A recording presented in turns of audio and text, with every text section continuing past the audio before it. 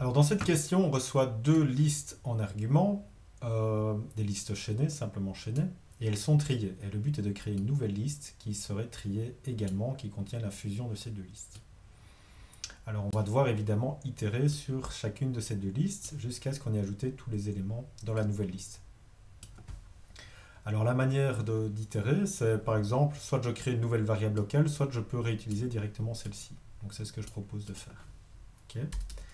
Et donc ma condition pour euh, itérer, tant que je n'ai pas fini, c'est que soit liste 1 est différent de nul, ou liste 2 est différent de nul. Pour m'arrêter, il faudrait que j'ai complètement itéré sur tous les éléments mais tant qu'une des deux n'est pas vide, je continue. Et je vais aussi avoir besoin ici de stocker le résultat, vu que je dois stocker une nouvelle liste. Et donc ce résultat, je vais le stocker sous la forme d'une liste chaînée également. je propose de garder une sentinelle vers la tête de la liste, une sentinelle vers la fin de la liste. Et donc on va mettre ici last. Alors, les cas possibles ici, il y a quelques cas particuliers. premièrement, la première liste pourrait déjà être vide. Je pourrais déjà être arrivé à la fin. Donc, je fais if list 1 égale nul. Là, c'est un cas possible. OK À chaque fois, je vais devoir aller chercher un nouvel élément que je vais ajouter ici en fin de ma liste. Donc, je vais avoir ici un élément int v que je vais ajouter en fin de ma liste. Donc, premier cas possible, c'est liste 1 vaut nul. Et dans ce cas-là, l'élément suivant que je, vais, que je vais ajouter, ça va être simplement être v égale liste2.value. Et dans ce cas-là, je peux faire progresser liste2. Liste2 égale liste2.next. Donc j'avance d'un élément dans liste 2. L'autre cas possible, c'est le cas symétrique, c'est si liste2 égale nul. Si liste 2 est nulle, pas de problème, je vais chercher dans liste 1 et je fais progresser liste 1.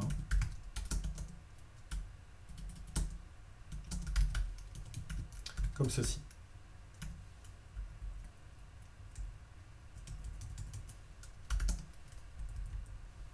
Et finalement, le dernier cas, c'est le cas où aucune des deux sont nulles, et dans ce cas-là, je dois aller chercher le plus petit.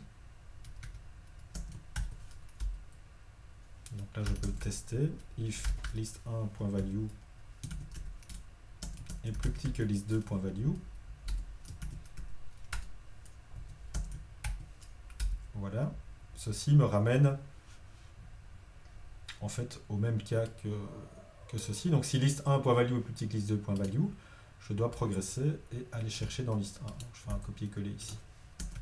Et sinon, je prends dans liste 2, de cette manière-ci. Voilà. Alors qu'est-ce que je dois faire avec cette valeur V? Je dois l'ajouter dans la liste que je suis en train de construire. Et là, de nouveau, il y a un cas particulier. C'est si jamais je n'ai encore rien ajouté, donc si first est nul, alors je crée un nouvel élément. Voilà, avec V nul.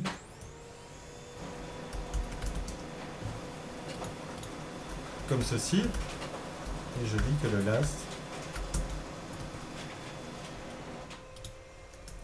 égale au first.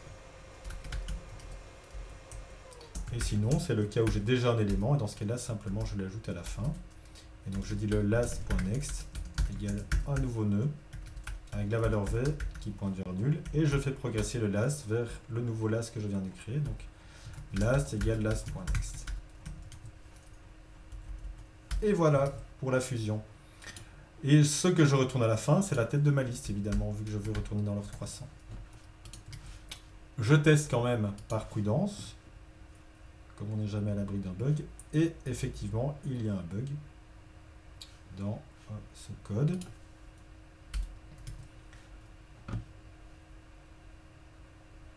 Je vérifie si j'ai pas fait une petite faute qui sauterait aux yeux directement. Oui, voyez qu'ici, ici, j'ai fait un mauvais, mauvais copier-coller. Donc là, le cas suivant, ben, j'aurais dû aller chercher dans liste 2, évidemment. Et donc j'aurais dû faire ceci. Et voilà. Mais si jamais le bug est plus compliqué, évidemment, vous lancez le débugger et vous inspectez euh, cas par cas ce qu'il a pu se produire. Euh, vous voyez qu'ici, le code, j'ai fait un copier-coller. C'est jamais conseillé de faire un copier-coller. Ce que vous auriez pu faire, c'est ici, je vais chercher dans la liste 2 si liste 1 est nulle ou si euh, liste 2 value est plus petite que liste 1 value. Ok. Et donc ceci simplifie votre code. Alors sinon, ça veut dire que c'est l'autre.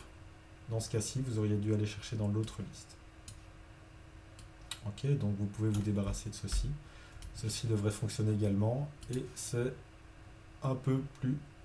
Hop là.